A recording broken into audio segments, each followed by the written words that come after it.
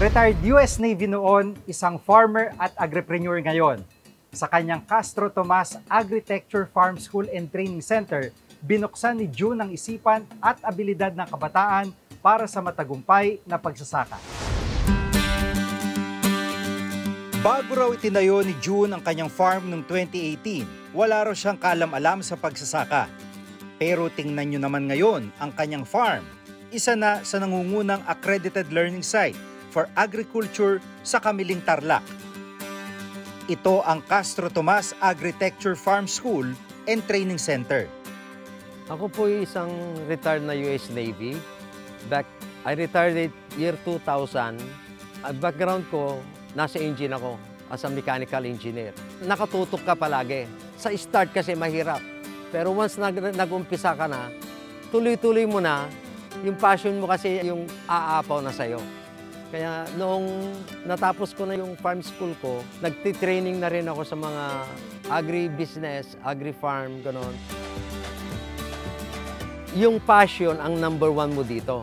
Tsaka true God ka. Lahat ng gagawin mo dito, huwag mo iisipin yung gastos. Kailangan isipin mo yung maitutulong mo sa mga kabataan Para kay June, kailangang maingganyo ang mga kabataan sa farming. Kaya naman porsigido siyang maipaintindi sa mga kabataan ang dangal ng isang magsasaka. Yung mga kabataan, nakagisnan nila na yung farming ay napakahirap kasi nakikita nila yung mga magulang nila nagpa-farm lang. Ngayon, sa mga kabataan kasi na, na ano yun, gusto nila puro technical. Pero hindi nila alam na yung farming, pag masipag ka, marami kang matututunan at marami kang maipon, hindi ka gugutumin. Kayong mga kabataan, kailangan huwag niyong isipin yung hirap ng mga magulang ninyo, kundi isipin ninyo yung kinabukasan ninyo pagka masipag ka lang, hindi ka gugutumin sa farm. Start them yang araw ang paniniwala ni June. Kaya naman may partnership din sila ng Department of Education para maturuan maging ang mga nasa elementarya. Dito sa learning site namin, meron kami mga kabataan, grade school ng grade 6. Part ng ano nila, ng curriculum nila, mga grade 6. Tapos yung mga high school ng DepEd, part din nila yung subject nila about sa agriculture. Dito rin sila nag-ano, nagti-training. Tapos meron din kaming TESDA ng Agri-Crop Production NC3, tsaka Agri-Crop Production NC2, tsaka FFS. Bukod sa mga kabataan, gusto rin daw buksan ni June ang isipan ng mga traditional o old school farmers sa mga makabago at sustainable na paraan ng integrated organic farming. Kailangan mag-training yung mga iba para sa ganun hindi na yung old-fashioned na ano, traditional na farming ang sinusunod, kundi yung yung bagong technology na para sa ganun, less expenses, tsaka more production.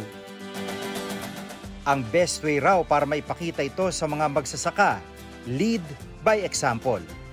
Yung mission ko kasi dito, lahat sana ng tao dito ay matutong maging farmer. Nakikita ko sa paligid ko, mostly kasi palay dito. Sana mag-integrated yung mga tao para sa ganun, ma- maano yung sustainability nila. Kaya nung, nung pinatayo ko itong school na to, yung LSA namin, nakikita nila sa mga, lahat ng mga dumadaan dito na marami pala kaming tanim na pwede palang itanim kahit ano, hindi lang palay. Sa kanyang retirement, malaki raw ang pasasalamat ni June na natagpuan na niya ang kanyang passion in life sa farming. Masaya po ang maging isang farmer. Lalo po ako, wala akong alam sa farming. Hanggang sa natuto ako. Isa pong karangalan na maging isang farmer ako. Na nagmula rin ako sa, sa hirap, hanggang sa lumago rin ako sa awa ng Diyos. Ito, farming ako. I love farming po. Dito ako nabubuhay sa farm. Lahat ng kinakain ko dito galing sa farm. Wala kaming binibili na ano na ibang tanim na hindi galing sa farm ko.